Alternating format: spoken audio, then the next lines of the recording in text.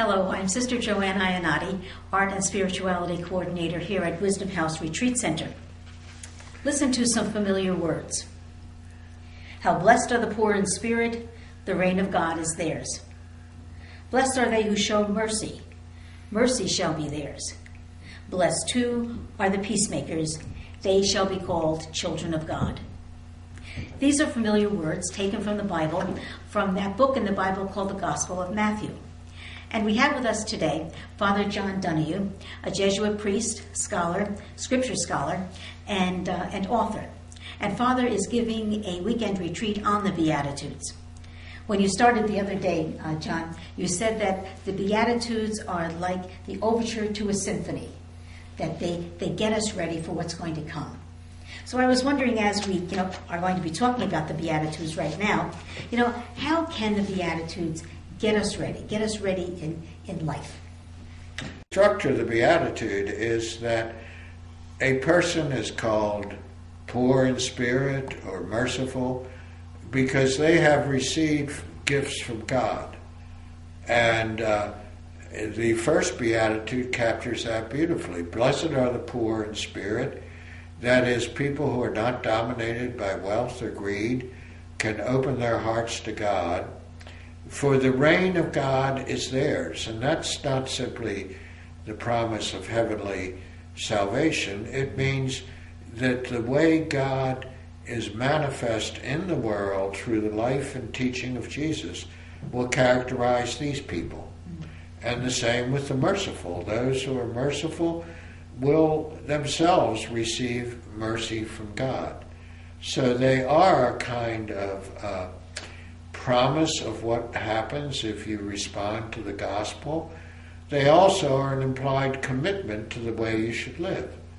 If you are to be happy uh, because you are merciful or poor in spirit, it means you should uh, li- try to live your life according to that view, that those virtues.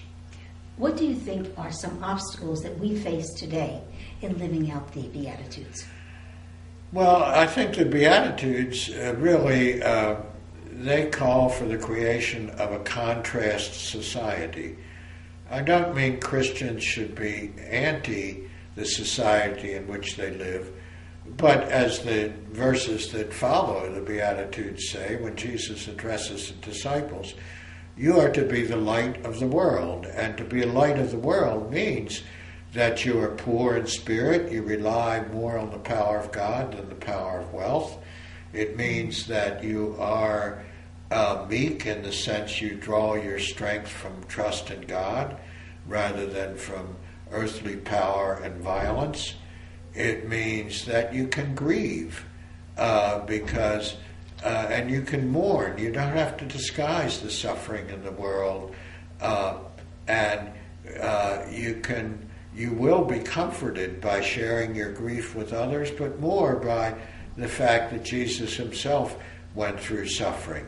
So I think uh, they really are ways that we counter many of the values in of our society the values of power and wealth and the inability to face grief and sorrow at times. Those are good examples for us. And I was wondering just in terms of some people who are alive today, or maybe those who have been alive that have lived out these Beatitudes, whom might you raise as examples of people who live out the Beatitudes? Well, I, that's a good question. I think a, a legion of saints may come to uh, uh, mind. I would certainly pick out one of my favorite saints, even though she hasn't been canonized yet, Dorothy Day. Mm-hmm. Uh, Dorothy Day lived a real poverty and a poor poverty of spirit. She was one who sought justice. She certainly was a peacemaker, but she was also a very strong woman. Mm-hmm. Uh, I once had the privilege of having dinner with Dorothy Day, yeah. and she was anything but a kind of liberal wimp. I mean, mm-hmm. she believed that religious commitment uh, required sacrifice and virtue and uh, she was angry. This was in the early 70s. She was upset about the number of priests that were leaving the priesthood. She said they should recommit themselves and live more authentic lives. That took me back a bit, you know. But uh, and I would see uh, people from our own time, in a certain sense. Uh, I see uh, Martin Luther King as embodying the Beatitudes, but I think the people who most embody the Beatitudes in many ways are loving parents. Really, I mean, they are the people who who live that. They they are available to the weak and the suffering. Uh, they mourn and are sorry over the sickness and loss of children. Uh, they train children in the way of justice and righteousness.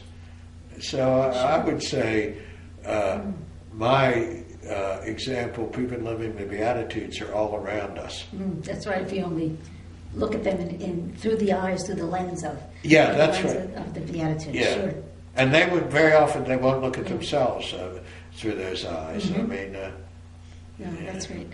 Well, thank you very much. This is just a, a brief overview of, of the Beatitudes and what the Beatitudes can mean in our lives.